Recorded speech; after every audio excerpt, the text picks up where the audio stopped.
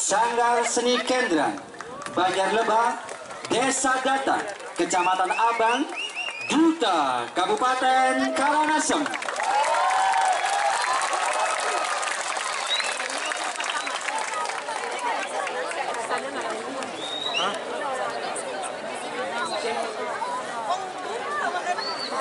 Oh, patuh di jalanan. con con sập mất con bắt đầu nghe. Lên nào này. Này, đi ăn cái sập nữa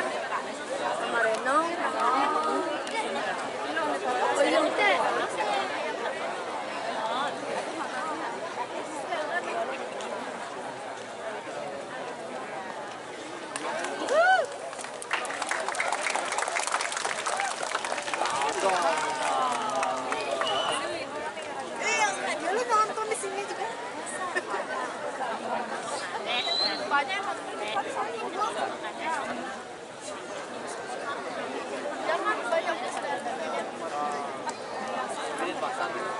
Ibu hadirin tamu undangan dan para pendengar setia Perempat Budaya RRI Denpasar dan para penonton yang berbahagia Inilah Sekegong Kebiar Wanita Sanggar Seni Kendra Banjar Lebah Desa Data Kecamatan Abang merupakan duta Kabupaten Karangasem yang akan menempati sebelah selatan panggung.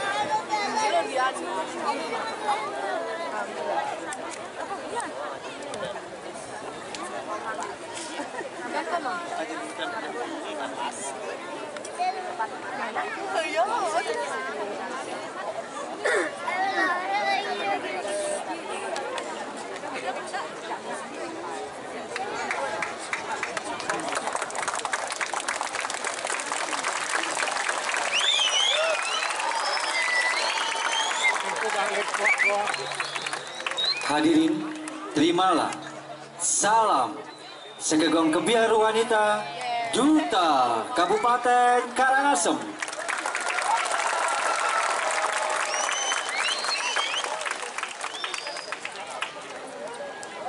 Baik hadirin, berikutnya kami panggilkan Sekegong Kebiar Wanita Eka Kumarasanti Banjar Kedua Desa Peguyangan Kangin Kecamatan Denpasar Utara Duta Kota Denpasar. Baik kami persilakan untuk mengambil tempat di panggung sebelah utara.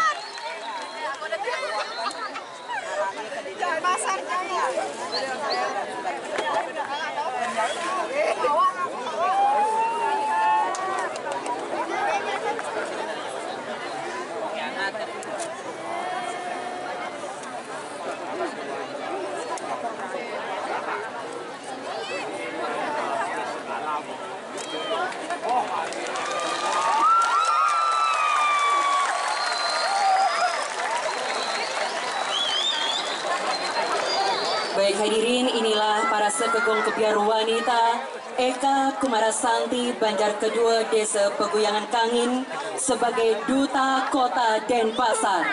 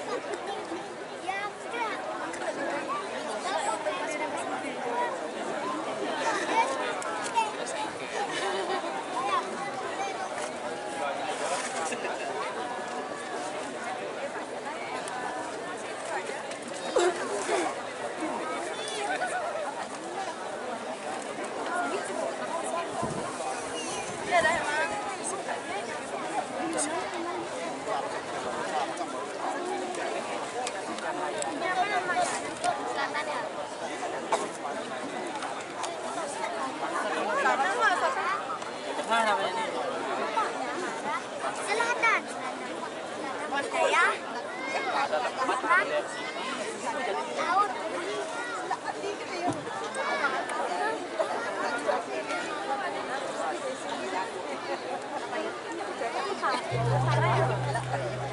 Baik hadirin, terima salam hormat dari Seka Gong Kebiaru Wanita Eka Kumarasanti Banjar Kedua Desa Peguyangan Kangin, Kecamatan Denpasar Utara sebagai Duta Kota Denpasar. Baik hadirin para penonton dan para pendengar setia perumpat budaya RRI Denpasar dan para pencinta seni yang berbahagia untuk penampilan perdana pada malam hari ini Sekegong Kebiaru Wanita Sangal Seni Kendran Banjar Lebah Desa Data Kecamatan Abang Duta Kabupaten Karangasem yang akan menampilkan tabuh pisan lelambatan Matan Ai Matan Ai adalah sebuah nama lain dari pusat tata surya, yaitu matahari yang hanya ada satu dan keberadaannya sangat berperan penting sebagai sumber energi bagi semua makhluk hidup ciptaan Tuhan. Terinspirasi dari hal tersebut, penata mentransformasikan ke dalam sebuah bentuk garapan tabuh pisan lelambatan yang mana jajar pagah tabuh tersebut telah dibekukan pada umumnya kemudian ditata dengan pola kekotekan, nyokcak, norot, dan tidak lupa penata memasukkan unsur musik seperti tempo, dinamika, ritme, dan melodi sehingga tercipta garapan tabu pisan lelambatan yang selaras dan harmoni dengan judul Mata Air. Penata dan pembina tabu Iwayan Sudiartani, Inyoman Widnyana, dan Ikomang Oke. Hadirin, inilah tabu pisang lelambatan Matan Ai persembahan Duta Kabupaten Karangasem. Selamat menyaksikan.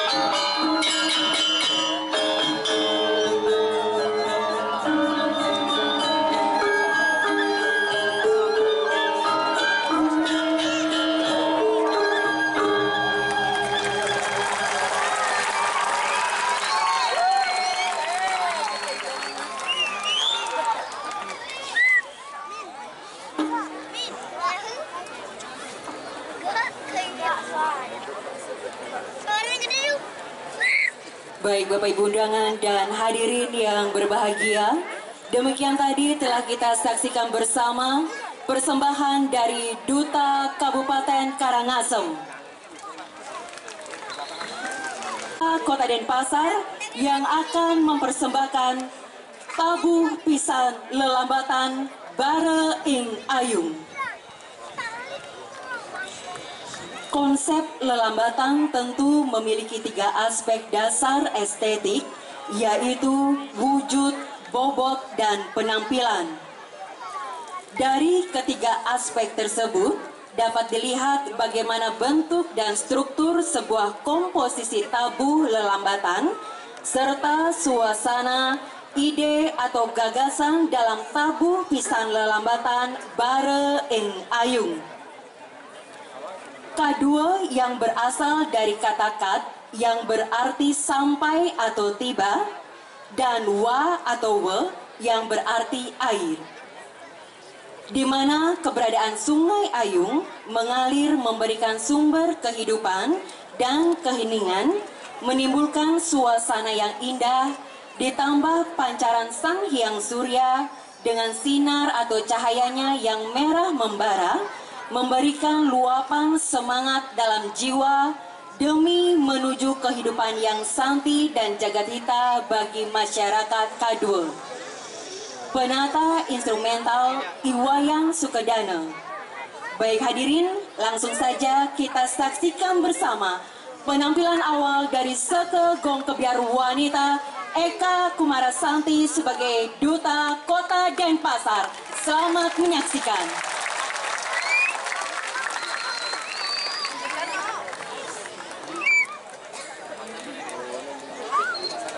abraço.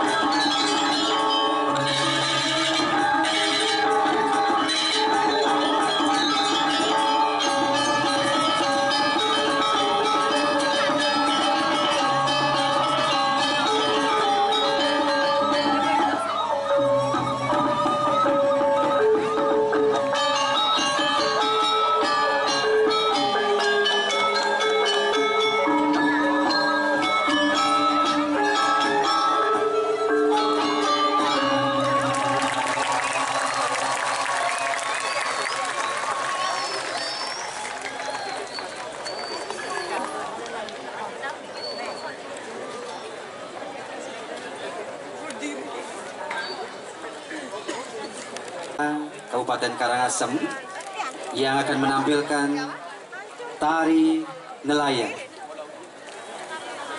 Tari nelayan merupakan tari kreasi baru yang menggambarkan kehidupan para nelayan di laut dengan kegiatannya yaitu menangkap ikan.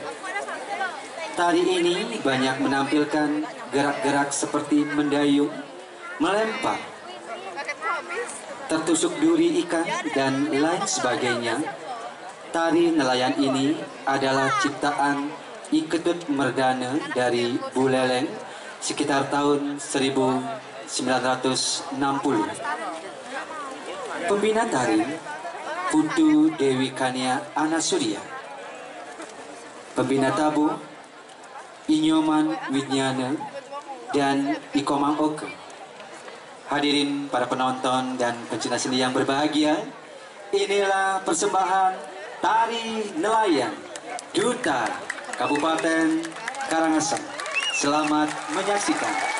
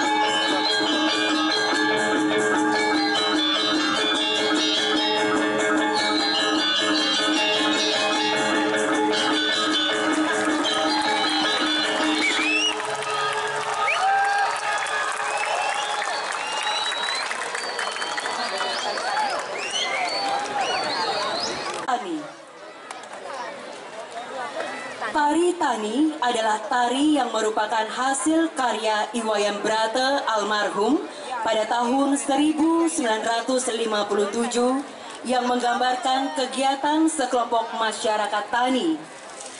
Tahap kegiatan bertani yang mereka lakukan mulai dari mengolah tanah, menanam benih, sampai dengan merawat padinya, mengusir burung sampai mengetam padi.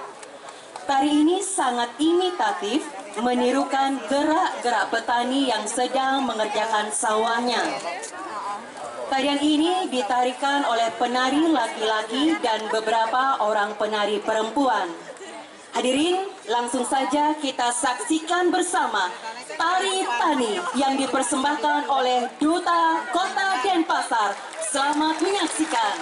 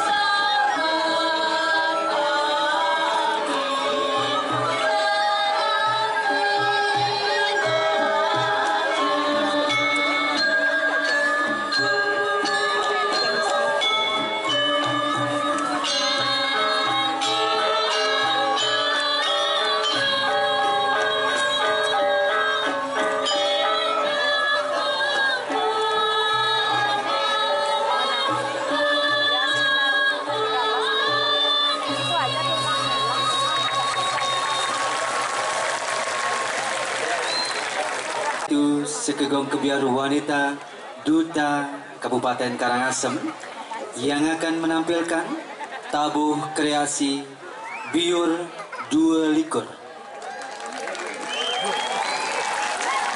Terinspirasi dari fenomena yang terjadi pada tanggal 22 September 2017 saat Gunung Agung di daerah Kabupaten Karangasem Bali diinformasikan akan meletus atau erupsi. Rasa takut, bingung, cemas dan risau yang luar biasa dirasakan oleh masyarakat di kawasan rawan bencana yang khawatir akan bahaya dari letusan Gunung Agung. Dari fenomena tersebut, penata terinspirasi dan mentransformasikannya ke dalam sajian garapan tabuh kreasi dengan judul Biur Dua Likur. Penata tabuh Iwayan Sudiartana. Hadirin para penonton pencinta seni yang berbahagia, inilah tabuh kreasi Biur Dua Likur. Persembahan Duta Kabupaten Karangasem. Selamat menyaksikan.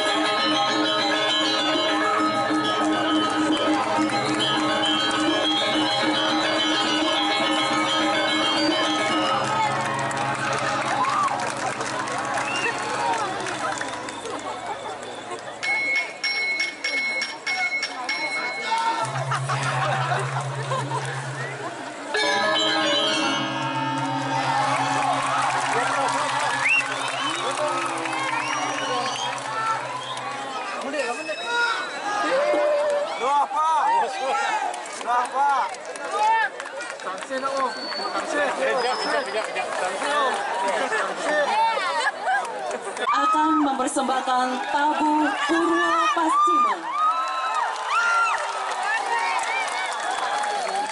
Tabu Purwa Paschima adalah sebuah konsep tabu instrumental yang ditata oleh Bapak Iwayan Brata almarhum pada tahun 1969. Purwa Paschima artinya timur dan barat atau kangin kau. Menyimak kata di atas, penata mencoba mengekspresikan makna dari kata Purwa Paschima ke dalam musikal gong kebiar yang berarti penggabungan unsur-unsur musik ketimuran dengan sentuhan beberapa unsur musik barat ditata atau dikemas menjadi sebuah pola tabu kreasi kekebiaran dengan jalinan melodi tradisional Bali. Dengan mendengar alunan melodi yang indah dalam tabu Purwo Paschima ini, kiranya pendengaran atau pikiran kita akan mengingat kehebatan sesepuh Iwayan Brata almarhum. Proses pembelajaran inilah yang disebut aguron-guron yang memicu api emosional untuk mengetahui sesuatu agar menjadi pengetahuan dan bahkan melalui proses akademis akan melahirkan ilmu pengetahuan. Baik hadirin para pecinta seni yang berbahagia, langsung saja kita sambut Duta Kota Denpasar dengan tabu Purwa Paschima. Selamat menyaksikan.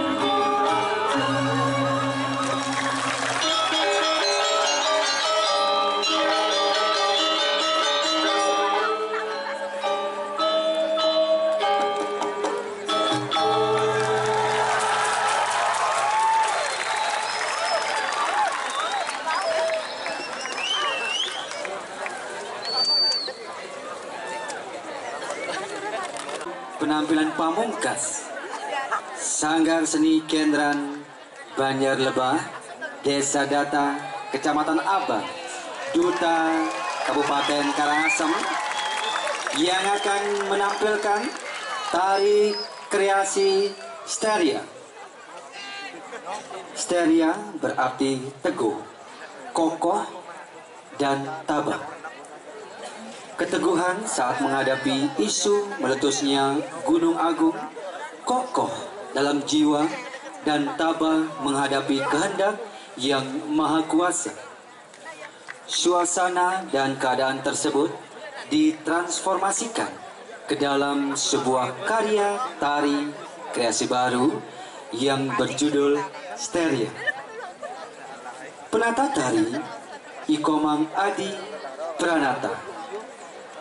Penata tabu Iwayan Sudiartana. Hadirin para penonton, pencinta seni yang berbahagia, inilah persembahan tari kreasi Steria dari Duta Kabupaten Karangasem. Selamat menyaksikan.